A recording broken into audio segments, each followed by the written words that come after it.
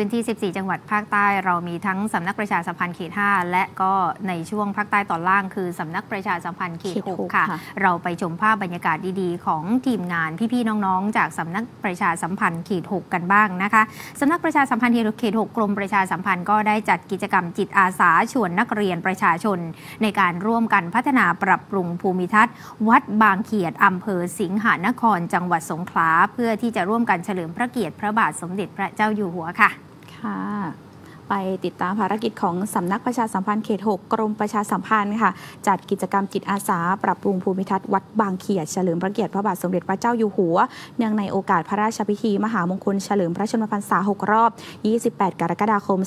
2567 ค่ะ โดยมีนางมุจรินทองนวลค่ะ ผู้อำนวยการสำนักประชาสัมพันธ์เขต 6 เป็นประธาน พร้อมนำคณะข้าราชการ พนักงานราชการและลูกจ้างในสังกัดเข้าร่วมกิจกรรม และได้รับความร่วมมือจากกลุ่มจิตอาสา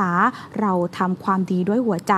คณะครูนักเรียนโรงเรียนวัดบางเขียด ตลอดจนประชาชนในชุมชนวัดบางเขียดและใกล้เคียงค่ะ พร้อมใส่เสื้อสีเหลือง เพื่อเข้าร่วมกิจกรรมกันเป็นจำนวนมากค่ะ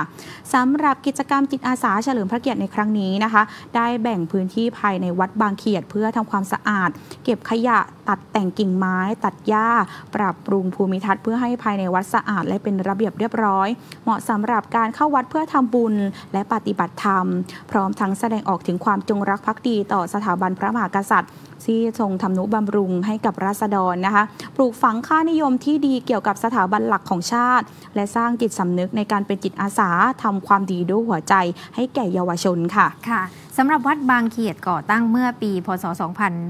2189 ได้รับพระราชทานวิสุงคามสีมาเมื่อ พศ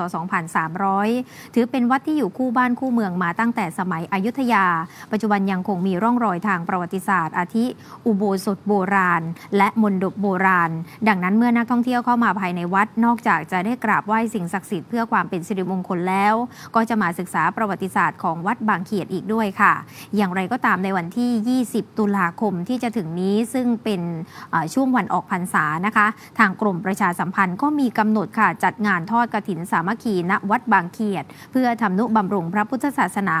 โดยจะนำเงินรายได้จากการทำบุญบริจาคเพื่อพัฒนาวัดบางเขียด ให้เป็นที่ยึดเหนี่ยวจิตใจของพี่น้องประชาชนในชุมชนด้วยค่ะ